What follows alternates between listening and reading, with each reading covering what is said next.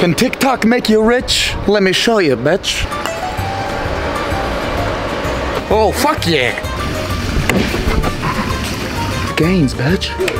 My favorite part of my new house. The kitchen. Fuck you. Little bitch. Let's make some fucking pasta. Zucchini. Ow.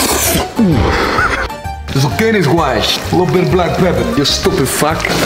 Smells like a damn Sunday morning. Got a little bit of salt in there. Take a look at the zucchini. Nice and golden brown. This might sound a little fucked up, but you put the fusilli right in the fucking pan. A bit of water. This might not be ordinary, but it's still pasta, bitch. Keep adding water, keep stirring. Provolone.